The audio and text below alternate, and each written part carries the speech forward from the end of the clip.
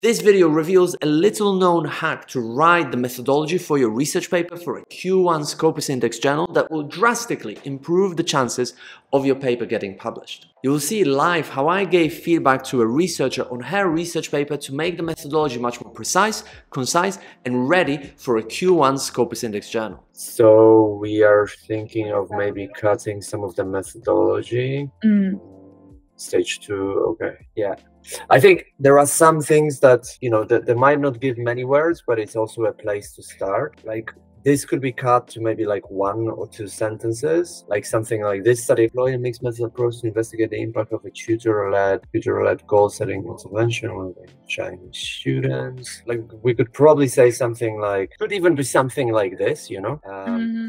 Right? So you mean I do not need to explain this figure? Yeah, I don't know. I'm, I'm just thinking, yeah, like it's just an idea how to maybe cut it, or it could even be deleted, the figure, essentially, because you explain everything like below anyway. Mhm. Yes. So, what information were you like thinking to put in the appendix? Uh, at the end of this paragraph, from a high overall retention rate was observed with after this sentence. Yeah. And uh, until the the end of this paragraph, do you think should Mhm. I? Uh, I just delete Yeah. this sentence. Yeah, you could you could potentially delete all of this. Actually, you know, like with all the cuts that we're doing, what, what might happen, like when you Mhm. submit this, i reviewers might say, "I want more information about this. Why Yeah. you know there is too little information about participants so we have to bear it in Oh. mind that like you know you might cut stuff that later on you might need to add so it will be good to like keep two separate documents as well. But i don't think like cutting this will mean that your paper paper will be rejected you know? Okay. like it's Um, it's like more detailed information basically. And some of it like like this for example this is more about the Mhm. procedures not really about the participants. So i think this can be cut as well Yeah, uh, but should I put it this one, the, the highlight one you just selected to the Mhm. footnote because it's about time one, time two, and time three. What's the explicit date I collected the data? so th- that would be more than about the data collection not not about the participants so like if you wanted to add it somewhere it would go in the part where you like describe the procedure or the intervention Okay, yeah. yeah because it's Mm. only the participants I I'm trying to find something from this this part, but I found it's the core uh, section. So yeah for example this i think this is this is good what you're doing right because you're kind of justifying why you use this tool and stuff like this but again i think this Mhm. could potentially be just shortened to one sentence something along the lines of like this study um, utilized the goal um, achievement tool and here you put the reference right to the Dr. Hugo Alberts to his study, which has been shown to be effective and versatile tool for X, Y, or whatever, right? But we could essentially just cut it to one sentence, right? So that the justification is just much shorter, you know.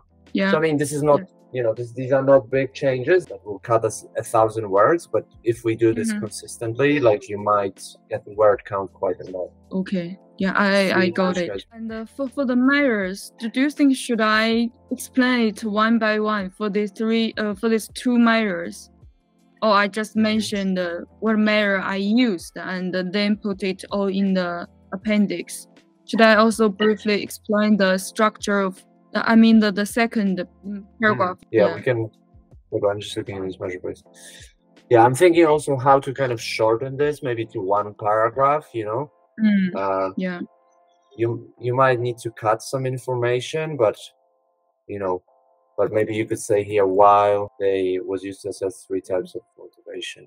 You know, something like this, like, and then you know, could say like both scales have been demonstrated by previous studies to be i don't know valid or effective or whatever the Mhm. word is right and then Yeah. here you put references um, Okay. yeah like each of them consists of uses a seven point Likert type Mhm. scale Yeah.